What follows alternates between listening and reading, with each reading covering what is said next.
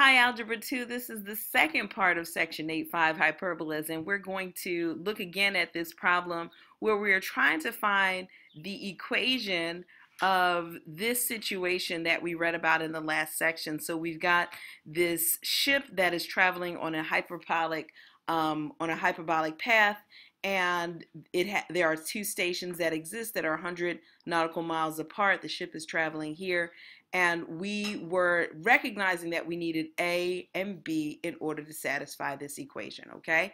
And so what we had was C, given the fact that we knew the distance from the center to one of the foci, and we need to count, uh, figure out what A and B are. So what we did is we figured out that if the ship traveled all the way down to the x-axis and we landed right here, we realized that the distance between the ships the, the distance between the stations rather would have to be still 100 it has to be 100 because that's what we were told.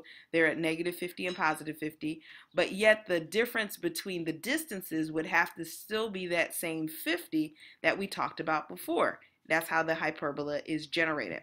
Now we can calculate that this well, we did like a um, system of linear equations where we found out that the distance 2 was 75 and therefore the distance 1 is 25.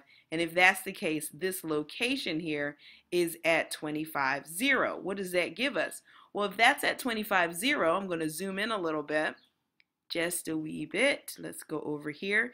If that's 25, 0, what I have is that this distance, the center to one of the vert vertices is going to be A, and that's going to be 25. So A is 25. Yeah? Okay, cool. Now that we know that A is 25, we recognize the relationship between A, B, and C as being that of the Pythagorean theorem, A squared plus b squared equals c squared. Since a is 25, I'll put a 25 squared here, plus b squared, we'll calculate that, plus 50 squared. So 625 plus b squared plus 2500, and we're going to get that b squared is equal to 2500 minus 625. And sometimes I forget this because I'm all about solving. I really don't need to solve for b. The equation calls for b squared, so let's just do that. So 625 minus that, uh, let me put the 625 here so I can get my subtraction on. I've got, um, this would be, what is this, would be a 4, this would become a 10, then a 9, and then this would become a 10. So then I have a 5, a 7, I know you didn't want to see me do this kind of subtraction this morning, but that's okay. Um, 18, yeah, 1,875 is going to be my b squared term. And therefore, the equation of this hyperbola will be x squared over 625. Remember, we need a squared minus y squared over 1,875 is equal to 1.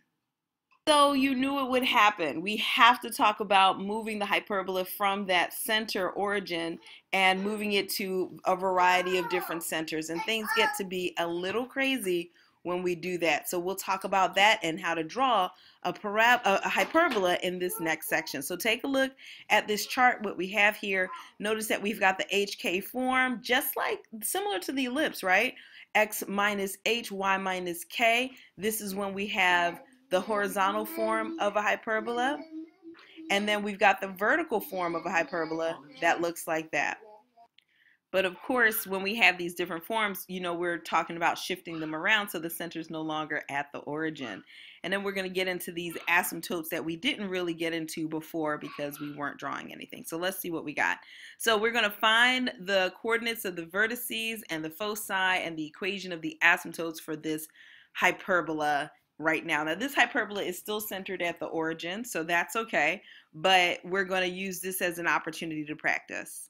So you remember this is a squared and this is b squared. And you can see that because the x squared is first, we've got an orientation that's horizontal. And we need to find c squared in order to find the foci. So let's do that. a squared plus b squared equals c squared. And so that's 9 plus 4 is equal to c squared. 13 is equal to c squared. c is therefore equal to the square root of 13, which is approximately 3.6. So we remember that A, okay, so we remember that um, A and C give me the distinct locations of the vertex and the foci um, specifically. So I'm going to start there. I'm going to find the vertices in, the, in that. So A is 3, so I'm going to go 3 over from the center, the center being 0, 0 because it's there's no x minus or y minus happening.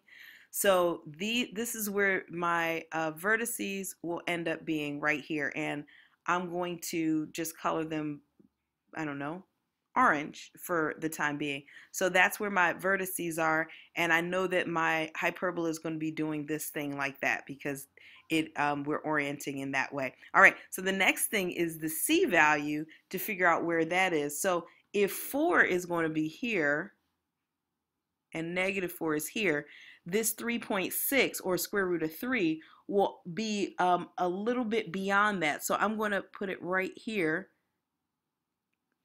And so these green dots are referring to my uh, foci or my foci or whatever. All right. So my vertices are in orange and my um, green dots refer to my um, my green dots re refer to my foci. Okay, thank you for being patient with me. All right, so now we we need to figure out the equation of the asymptotes. And I know you might not remember what that was, so I'll show you.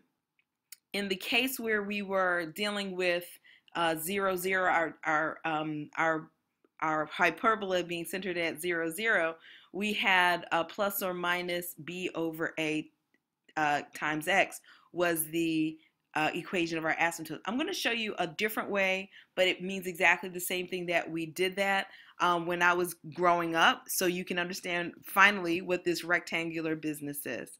So if you notice, the rectangle is literally going uh, two b values up and two a values across, centered at the center of the hyperbola. So we're to do so we're to do the same thing here, and let's say the b value is at two because that's what we have as b, right? b squared is that, so the b value is at 2.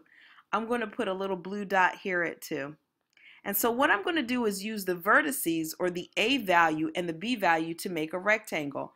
I'm going to make this rectangle like a dotted pink rectangle.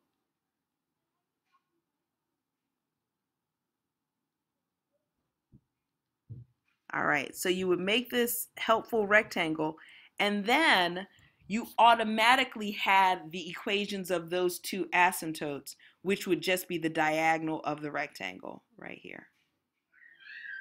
So what this gives us is kind of a guide for how our hyperbola, the, the arms of our, of, our, of our hyperbola will grow. So let me go ahead and try to get this diagonal going so it looks like it's half decent. Okay, so remember this diagonal, these aren't really a part of the graph. It's just, um, just the asymptote. So I'm going to try to dot it a little bit to make it look a little bit like it's not as prominent on our graph. Okay, so now that we have that, we're now going to graph our actual hyperbola. And so the graph is still kind of an estimation, but what we're going to do, I'm going to make it orange just because that's where the vertices were. What we're going to do is we're going to use this as a guide. And it's supposed to get closer and closer as we get further and further out. And I'm going to use this as a guide. And there we go.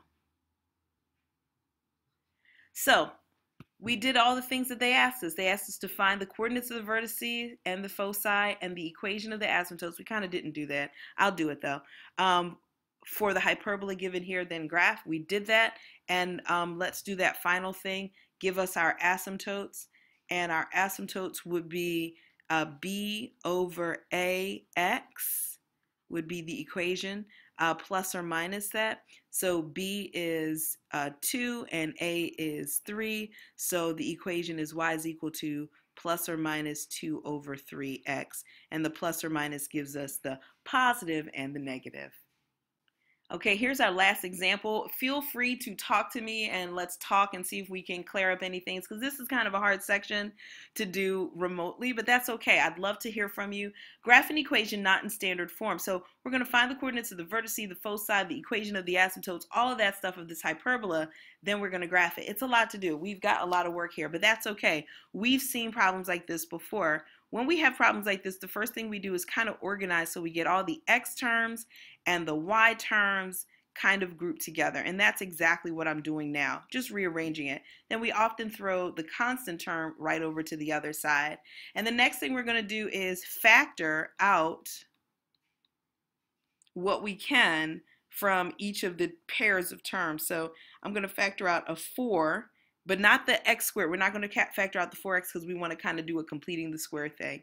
This will make sense if you saw some of the other videos. So x squared minus that, and I'm going to leave a little space, and I'm going to factor out a 9 here, and I get y squared uh, plus 2y. Do you guys see how that became a plus 2y? And I'm going to leave that there, okay? And now I'm I wanted to shift everything over and I had trouble. But anyway, so now we're here. We shifted everything over to give us some space. I need to figure out what I need to add to each of these sections in order to complete the square. So I'm going to complete the square here. x squared minus 8x, half of b quantity squared would be a plus 16. And I'm going to complete the square here. Um, half of b plus, um, half of b quantity squared will be a plus 1, right? So half of b quantity squared would be plus 1. All right, so then I need to compensate for what I added by adding that to the other side. On this side, I added a 16, but since it's in parentheses, that's 4 times 16, so technically I added a 48. And on this side, I added a 1, but Okay, I went through this problem and that 48 caused me problems. So let me stop here, erase that stuff, and point out that this is not 48. 4 times 16 isn't 48. That's 4 times 12 and it really is 64 and I can't tell you how much problems it caused me later on. So I show you the mistake to let you know I could have deleted it but to show you the mistake to let you know that we got to be careful when doing these problems because things will turn out very ugly and it did for me. Anyway, when I add all of this stuff together, I end up with a 36 and then because negative yeah it's going to be a 36 and then I when I simplify this I end up with 4 times x minus 4 quantity squared minus 9 times x, I mean y rather, uh, plus 1 quantity squared. All right, you see our, our hyperbola forming. The fact that we know that our equation usually equals 1 or is to equal 1 in the form, we're mm-hmm. going to have to make that 1. So when I do that, I'm going to simplify this fraction. 4 over 36 is x minus 4 quantity squared over 9. And then 9 over 36 will end up giving me this y plus 1 quantity squared over 4. And here is whew, our hyperbola, hard fought. Okay, let's see if we can get through this. So we're going to find the coordinates of the vertices and the foci and the equation of the asymptotes to do this whole thing. I think we can do it. Let's go. So I've listed, I need to find the vertices, foci, asymptotes, and graph. I'm going to start with the center of this hyperbola recognizing that my center is at 4, negative 1, I'm going to graph that using a purple dot right here. The next thing I need to do is calculate the vertices, and I know I get that from the A value. By the way, this having an X in the front lets me know that I've got the horizontal version of my um, hyperbola, and the transverse axis will be um, parallel to the x-axis, okay? So now that I have that, I'm going to use the information I have to figure out what the what the uh, vertices are. A is equal to 3, since a squared is 9, and it's going to be 3 points to the left and 3 points to the right of my center. So that leaves me with the points 1, negative 1, and 7, negative 1. The next thing I need to figure out would be my foci, and I'm going to do that by using the Pythagorean theorem to figure out the c value. So after calculating the c value to be the square root of 13, I know that I'm going to add the square root of 13 to 4 from the center and subtract it to get the foci, which are located here, right here.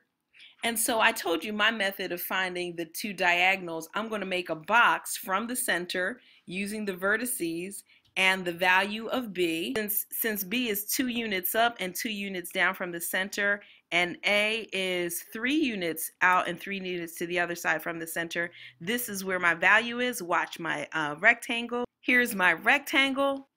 Here's my diagonals and my hyperbola. And here is the equation of those asymptotes. Let's talk soon. I'll talk to you later.